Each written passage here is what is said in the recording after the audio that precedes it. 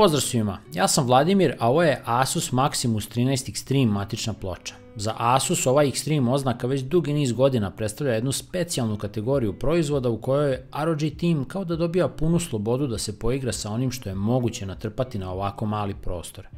Čak i ovo kad kažem mali prostor nema jednak nivo značenja kao kod ostalih matičnih ploča, jer Extreme ploče uvek dolaze u Extended ili EATX formatu. Ne znam da li ste ikada čuli da Iko priča o ovome, ali kada bi se matične ploče takmičile po masi, ova bi bez sumnja ostavila konkurenciju u prašini. Siguran sam da su one specijalne edicije sa integrisanim vodenim blokovima još masivnije i teže od ove, ali bojim se da bi se neka od onih jeftinijih kućišta koja sam na kanalu do sada testirao savila i pod masom ove grdosije. Priča o masi, ali i brzi pogled na cenu koja se zaustavila na korak od neverovatnih 900 evra, naveli su me da ovom videu priđem iz jednog malo drugačijeg ugla. Pošto ja moju publiku poznajem jako dobro, svesta sam činjenice da mnogi od vas, pa uključujući i mene samog, neće biti u prilici da se počaste ovakvim draguljem.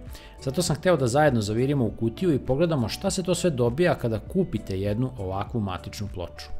Samu ploču ćemo ostaviti po strani za sad, vratit ćemo se kasnije i na nju.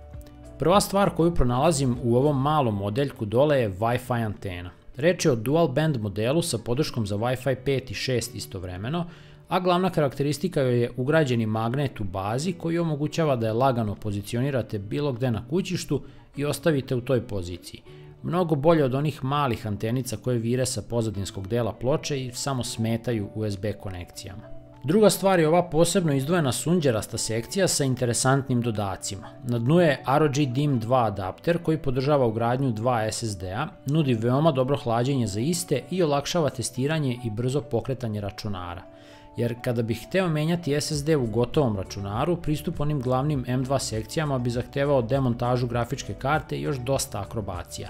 Ovo predstavlja jedno zaista elegantno rešenje. Odmah do njega nalazi se jedan veoma koristan dodatak u vidu kontrolera za ventilatore i ARGB. Ovaj dodatak izrađen je od metala gotovo u potpunosti i jedan je od najkvalitetnijih kontrolera koje sam imao priliku videti. Mislim da bi u slobodnoj prodaji cena za ovako nešto išla i do 80 evra, sudeći po onome šta određeni brendovi prodaju za 50 ili 60 evra. Ovo daleko prevazilazi sve što se danas može kupiti. Odmah do njega je jedan od meni omiljenih dodataka. Sa šrafcigerima radim non stop i da me neko pita da li želim ovu matičnu ploču ili šrafciger, mislim da bi vas moj odgovor iznenadio. Podržava sve iFixit glave i jednostavno je savršen.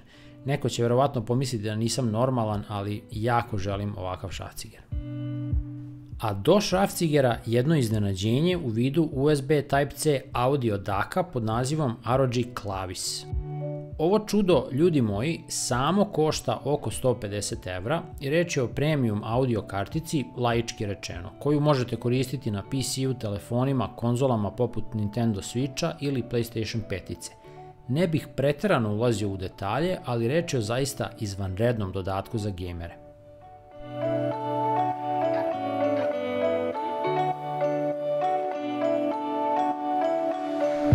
Ostatak kutije je uglavnom ispunjen gomilom kablova, malih zamenskih M2 šrafova, termalnih sondi i stvari poput privezaka, bedževa ili ovog USB-a koji na ovakvim matičnim pločama menja one CD-ove sa aplikacijama i BIOSima.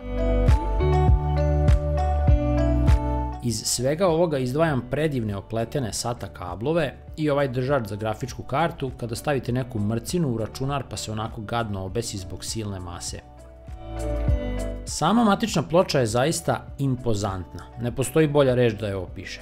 Kako otprilike znate da sa pločom nema zezanja, tako što ona, na primjer, posjeduje čak 20 100 ampernih MOSFETA za procesor i SoC, 20 virtualnih CPU faza, to su 18 plus 2, zatim termalne senzore i čak nekoliko vrsta različitih senzora koji kontrolišu protok vode u custom solucijama vodenog hlađenja ili se bave samim CPU blokom.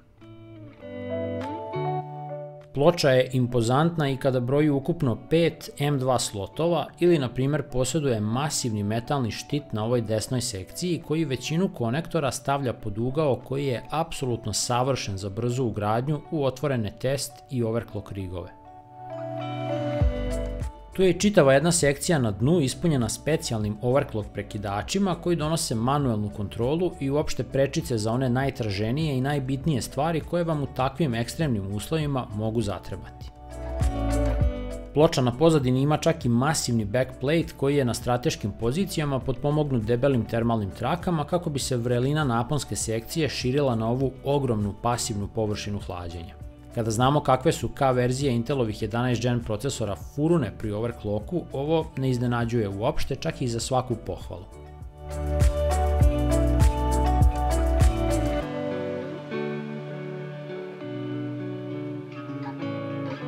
Dakle, 900 evra. Koliko god ta cifra delovala suludo kada je gledamo iz nekog balkanskog ugla, činjenica je da Maximus 13 Extreme nudi kvalitet i prateći paket koji je ekvivalent toj cifri. O budućnosti same LGA 1200 platforme ne vredi ni raspravljati, tu je situacija takva kakva je. Ne možemo ništa da ulepšavamo ili hajpujemo. Čak smo u ovih proteklih par nedelja svedoci toga koliko je proizvođača pogrešilo prilikom dizajniranja određenih matičnih ploča praveći ih prema pomalo nerealnim Intel specifikacijama. Određene B560 ploče imaju toliko jake power limite da neki procesori 11. generacije na njima ostvaruju čak i do 50% niže rezultate. Ova ploča je kao što vidite kreirana sa filozofijom pod navodnicima preterivanja u određenim sekcijama, osim što to u realnosti nije ispalo kao neki suludi potez, već baš ono što izgleda bilo i potrebno. E sad, ono što ja moram da obezbedim za ubuduće je neki custom loop sistem vodenog hlađenja kako bih mogao propisno testirati i ovakav hardware. Da li je uopšte i potrebno reći da je ovo proizvod koji osvaja platinastu nagradu? Ja sam konkretno uradio sve što je bilo u mojoj moći sa ostatkom test robe koja do duše nije predviđena za ovako ekstremne situacije testiranja, pa neki finalni dometi ovakvog pačeta hardvera za mene i dalje ostaju misterija. Asus Maximus 13 Extreme nastavlja putem dobro utabane tradicije kao vrh one konvencionalne ponude. Međutim, ako vam ova matična ploča nije dovoljno ekstremna, Asus ima i glacial varijantu iste koja je nastala u saradnji sa EKVB-om.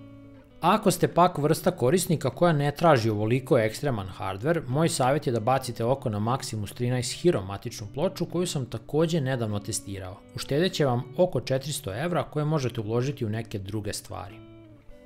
Evo jedne zaista specijalne ponude današnjeg sponzora za sve vas koji želite da legalizujete operativni sistem ili Office pakete, ali i vas PlayStation i Xbox gamere.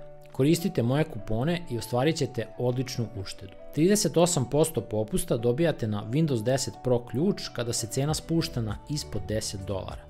18% popusta možete ostvariti na Office 2016 i 2019 Pro Plus pakete, kao i Windows 10 Home ako vam je potrebna takva verzija operativnog sistema. Kao i uvek, ako se slučajno desi da imate neki problem sa ključevima ili aktivacijom, ekipa u live chatu vam je dostupna 24 sata dnevno i rešavaju sve u trenu. PlayStation korisnici sa američkim nalozima koji su i najpovoljniji za nabavku igara mogu iskoristiti ovaj kupon kod da ostvare popust na top-up gift kartice od 20 i 25 dolara.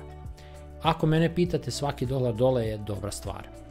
A Xbox korisnici će me obožavati kad saznaju da 14 dana Game Pass Ultimate paketa mogu dobiti za samo 2,5 dolara – Game Pass radi i na PC-u, pa samo napred, čak i ako nemate Xbox, to su stotine i stotine igara.